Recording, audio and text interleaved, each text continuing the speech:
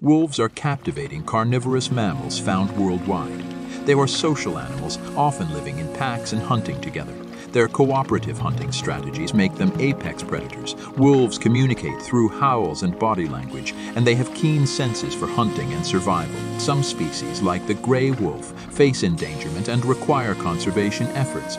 Wolves hold cultural significance, symbolizing traits like loyalty and freedom. As top predators, they help maintain ecosystem balance. Reintroduction programs have been successful in some regions. Wolves are fascinating creatures with unique behaviors and adaptations that contribute to their importance in ecosystems and cultures.